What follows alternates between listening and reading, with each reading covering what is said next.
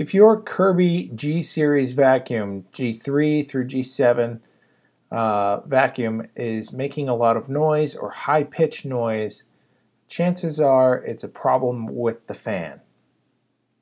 Okay, so here is the old Kirby vacuum fan. This is from a G4 Kirby vacuum.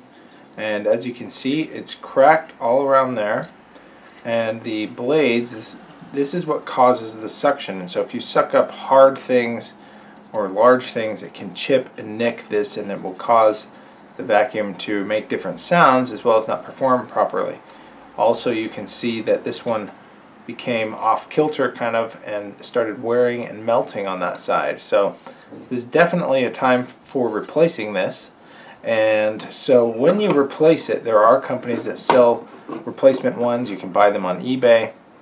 This is a genuine Kirby part, uh, but you want to make sure that it comes with the other pieces. Some of the some people sell them without all of the parts. Uh, comes with these things here. The most important, the two most important that are going to wear the most are this nylon uh, gasket or washer and this rubber seal.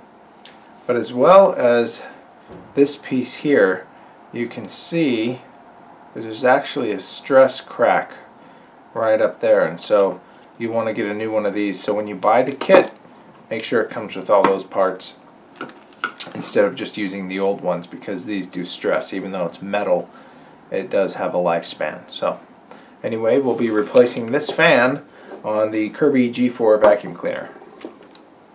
Thanks for watching. I hope this video helped you. I have a link in the description below if you want to purchase the fan kit.